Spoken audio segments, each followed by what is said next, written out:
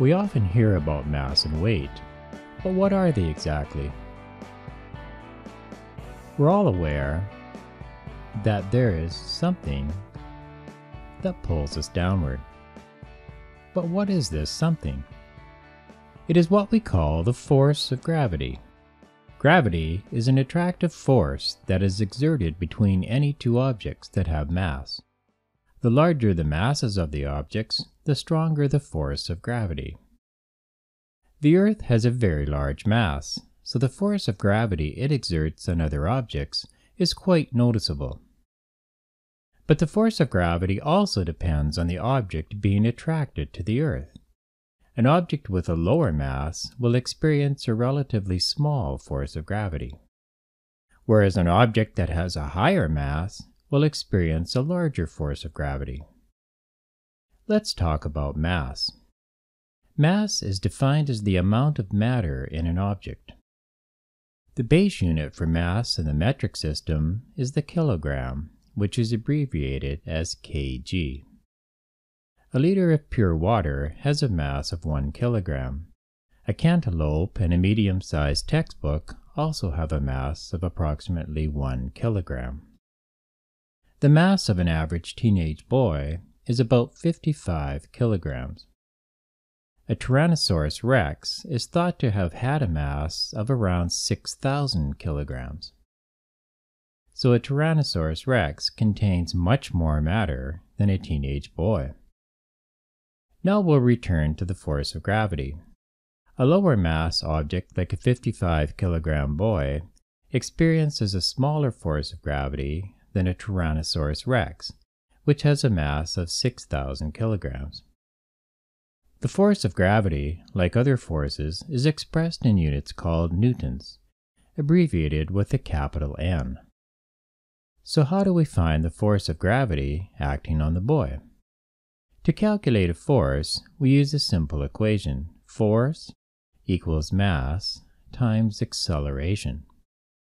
To calculate the force of gravity on an object on Earth's surface, we use the force of gravity equals mass in kilograms times the acceleration of gravity on Earth, which is 9.8 with the unit of meters per second squared.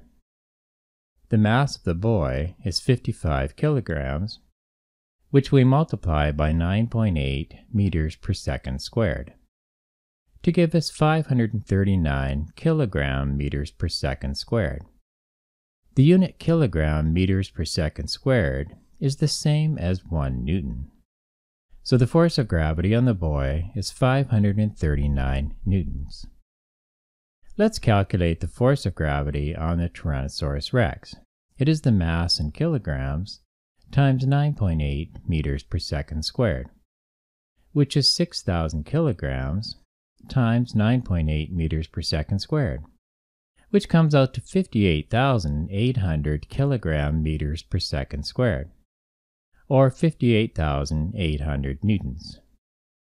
The force of gravity on an object can also be called its weight. The unit used for weight in the metric system is newtons, abbreviated with a capital N.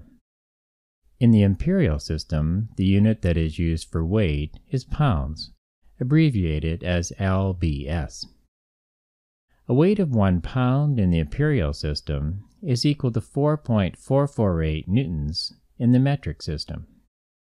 Even though pounds are a measure of weight, and kilograms are a measure of mass, weight in pounds and mass in kilograms are commonly compared.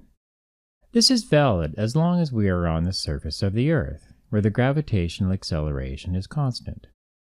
On the surface of the Earth, a weight of 1 pound results from a mass of about 0.454 kilograms. Or we can say that a mass of 1 kilogram gives us a weight of 2.2 pounds.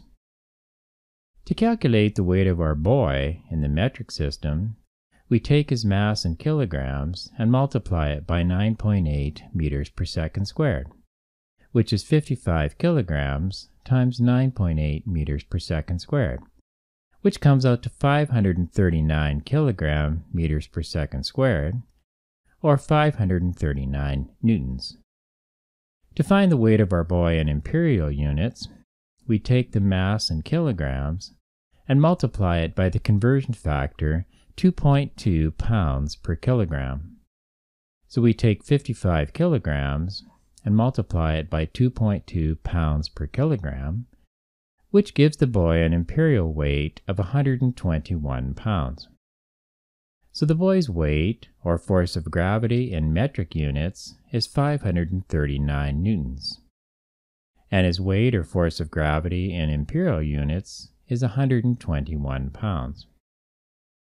We mentioned a while ago that one pound of weight is equivalent to 0.454 kilograms in mass. One kilogram is equal to a thousand grams, so we can also state that one pound in weight is equivalent to 454 grams in mass. You may have noticed in grocery stores that many items, such as coffee, are sold in packages which show a mass of 454 grams. Products like this likely originate in the US, where the imperial pound is used. And one pound imperial is equivalent to 454 grams in metric. Various types of scales can be used to measure the force of gravity or weight. Some of these are mechanical and some are electronic.